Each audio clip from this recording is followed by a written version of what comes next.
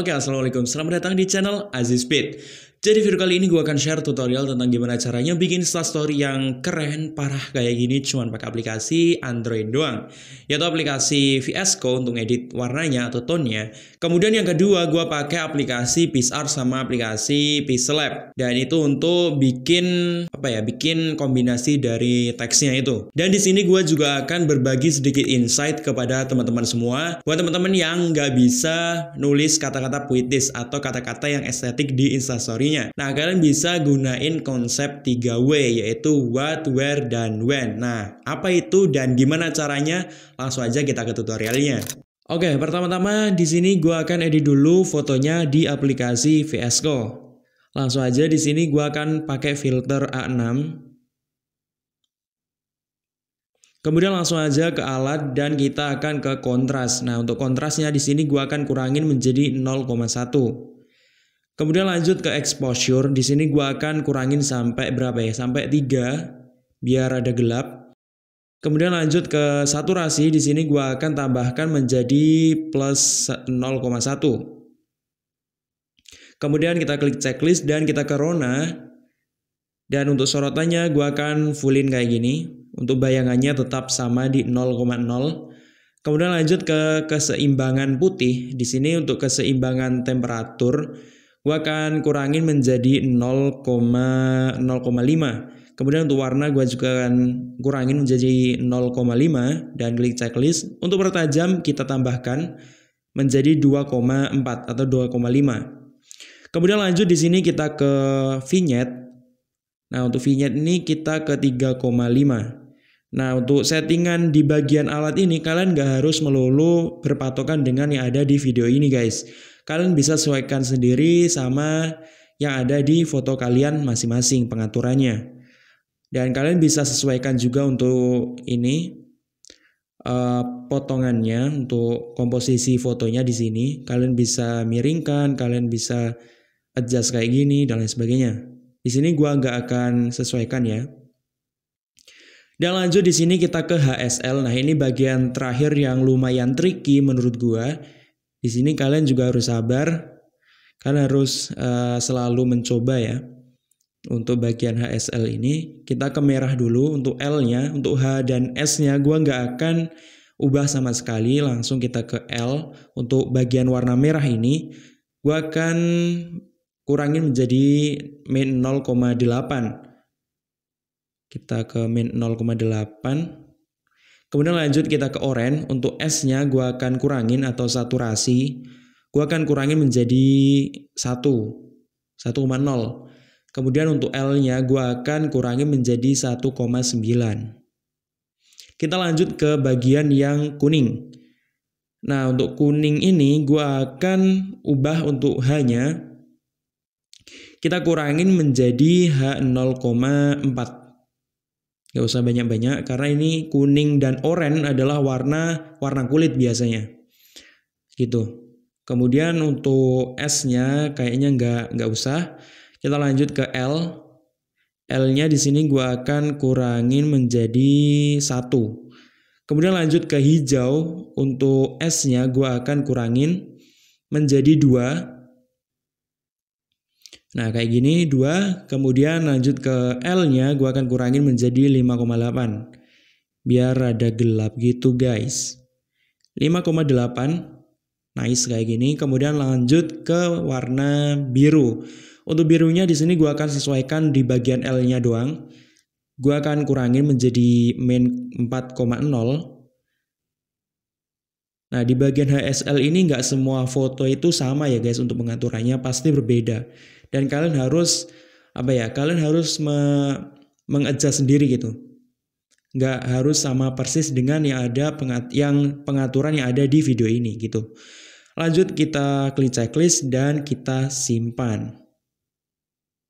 Oke, di sini kita lanjut ke aplikasi Pixelab. Langsung aja di sini kita ke teks dan gua akan tulis judulnya untuk Instastory yaitu gue akan tulis ambience sama seperti contohnya tadi guys.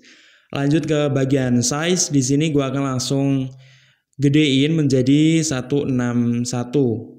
Karena nanti ini nanti akan kita masukkan lagi ke dalam aplikasi Pixel Lab. eh ke, ke dalam aplikasi PixArt maksudnya. Gua pakai Montserrat untuk fontnya, pakai Montserrat Black. Nah, di sini kita akan menggunakan grid, guys, bantuan grid biar lebih enak nanti natanya. Nah, kita tambahin kayak gini. Untuk gridnya 1 2 3 4 5. Nah, cukup 5 aja. Kemudian kita copy.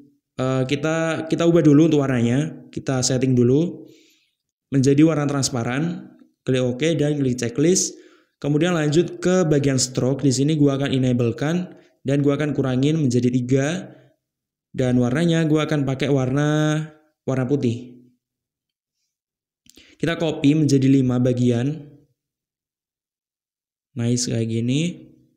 1 2 3 4 kurang 1 dan 5 nah 5 ini udah cukup.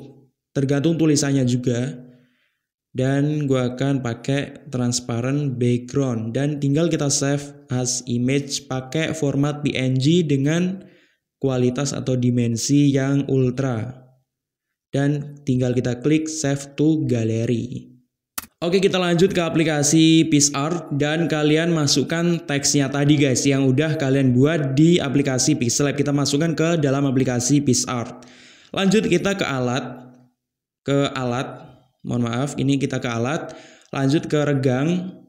Nah di sini kita akan edit teksnya ini biar kayak ada apa ya uh, efek liku liquify apa ya liquid gitulah kayak meleleh gitu kayak yang, yang ada di contohnya tadi pokoknya.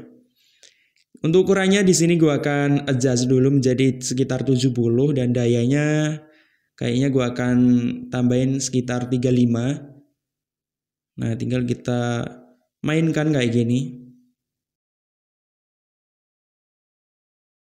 Nah, kurang lebih kayak gini, tinggal kita klik checklist dan kita simpan.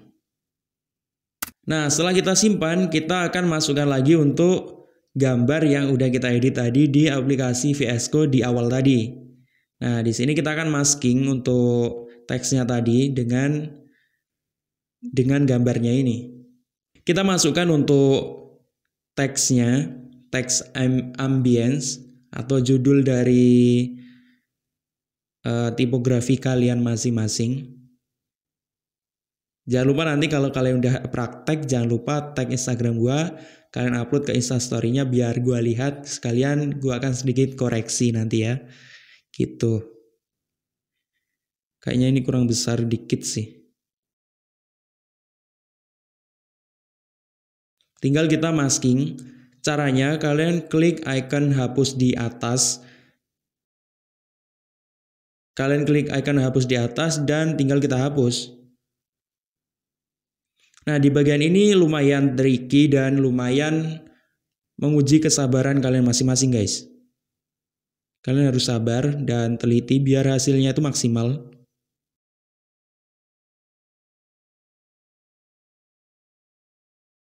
Nah, jika udah selesai tinggal kalian klik checklist.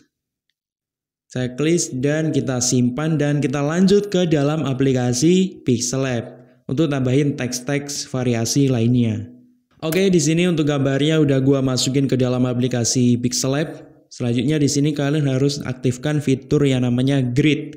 Karena apa? Karena dengan grid ini kalian bisa melihat komposisi dari setiap apa ya, setiap teksnya gitu. Di sini kita setel ulang karena tadi kan kita udah adjust kan tadi untuk gridnya. Di sini udah gua setel ulang. Di sini langsung aja ke teks, ke new text ini dan di sini kita akan menerapkan prinsip yang udah gue singgung tadi di awal di opening tadi yaitu 3W apa aja itu yaitu W itu what, what, where dan when. Nah, apa itu? What itu adalah apa? Apa maksud gambar kalian itu? Nah, gambarnya ini tentang suasana maksudnya. Nah, ini udah gue tulis untuk what-nya yaitu ambience. Kemudian di sini gue akan uh, tulis lagi yaitu when, kapan. Nah, di sini kalian bisa tulis tanggal, kalian bisa tulis waktu atau kalian bisa tulis tahun. Di sini gua akan tulis tanggalnya aja. Hari ini gua gua buatnya itu tanggal 28. Gua akan ketik 28 Januari. Di sini untuk fontnya gua masih pakai uh, Montserrat karena Montserrat itu menurut gue lebih lebih solid lebih apa ya lebih lebih minimalis gitu terkadang juga Popin sih Popin juga bagus buat tipografi kalian Poppins, uh, Montserrat, Railway, banyak pokoknya. Kalian bisa cek di postingan gue terbaru di Instagram itu ada nanti font-font yang buat tipografi favorit gue. Di situ udah gue jelasin. Di sini untuk fontnya gue pakai Montserrat Extra Bold. Karena apa? Karena nanti akan gue jadiin kayak outline juga gitu. Nah, gue akan pakai warna transparan Kemudian lanjut ke stroke, klik enable dan kita tambahkan stroke white. Di sini gua tetap pakai tiga atau nanti bakalan berubah juga. Di sini kita pakai grid ya.